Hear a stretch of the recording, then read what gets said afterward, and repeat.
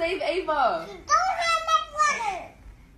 You don't have my brother. I'm gonna put you in the oven.